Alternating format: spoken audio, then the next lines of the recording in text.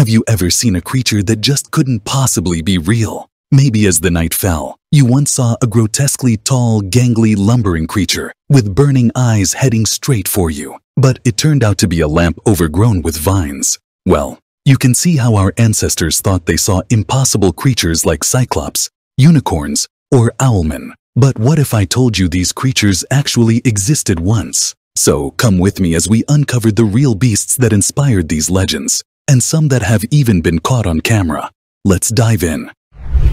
Cyclops, the one-eyed giant. Over 2,000 years ago, the Greek poet Homer wrote the Odyssey, which follows the adventures of Odysseus. Among his exploits was his arrival on an island populated by a terrifying race of one-eyed man-eating giants, known as Cyclopses. Sure, the Odyssey is a cool myth, but is there any evidence that these cyclopic giants existed in real life? Well, along the Mediterranean islands, people have actually discovered the skulls of huge one-eyed monsters, which seem to back up the myth. Testing revealed that these skulls actually belonged to dwarf elephants that were extinct around 400,000 years ago. But how could they have inspired the beastly Cyclops? Well, in the center of an elephant's skull lies the nasal passage where the animal's trunk would have been. Over time, this would rot away, leaving behind a hollow cavity. Before the 4th century, most Greeks had never encountered elephants. So, if they stumbled upon these fossils,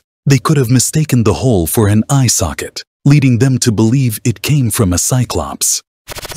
The Unicorn The unicorn is a mystical legendary beast, but it wasn't always the beautiful horned horse that we use in emojis or put on lattes today. In European literature and art, the unicorn has for the last thousand years or so been depicted as a white horse or goat-like animal with a long straight horn. In the Middle Ages and Renaissance, it was commonly described as an extremely wild woodland creature, a symbol of purity and grace, which could be captured only by a virgin. But did the unicorn really exist, or was it just a myth?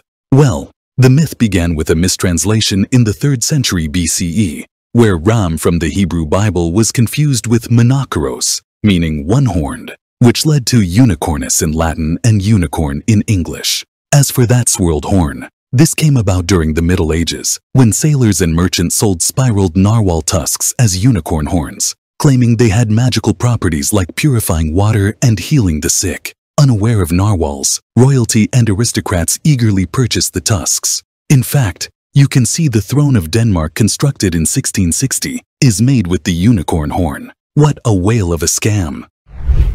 Owlman. In the late 70s and 80s in Point Pleasant, West Virginia, local folklore tells of a creature known as the Mothman. The story began in 1966 when two couples reported seeing a monstrous humanoid figure with 10-foot wings and glowing red eyes near a TNT storage site from World War II. After the war, the TNT was still being stored on site, supposedly polluting the surrounding environment. This led locals to speculate about what sort of effect it might have on the wildlife. Later, this saw it pass from story to legend, with people claiming to this day that they've caught the creature on camera. So, what were they really?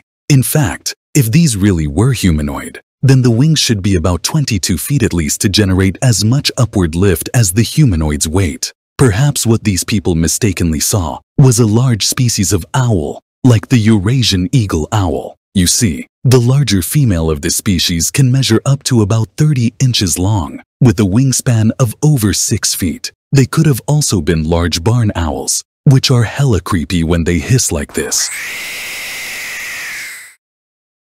The Kraken Showing off all the sea monsters lurking in the ocean depths, one of the most terrifying has to be the Kraken. The legend originates from the waters of Scandinavia, where seafarers would return home with tales of a gigantic monster, as big as an island that preyed on unwary ships. The inspiration for the giant squid-like kraken likely stemmed from sightings of giant and colossal squids. These are massive cephalopods over 40 feet in length and weigh up to 1,100 pounds. That's bigger than your average school bus. The colossal squid sticks to Antarctic waters where they could be found nearly everywhere, Here's one in 2015 that showed up in Toyama Bay, Japan. Even as late as 2004, French sailors participating in the Jules Verne Trophy race reported an encounter with a kraken-like squid. They described how the creature latched onto their vessel's hull, only releasing its grip when the ship came to a halt.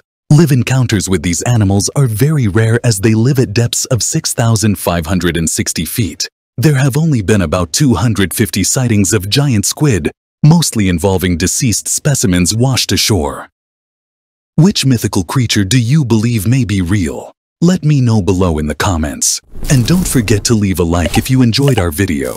See you very soon with a new episode.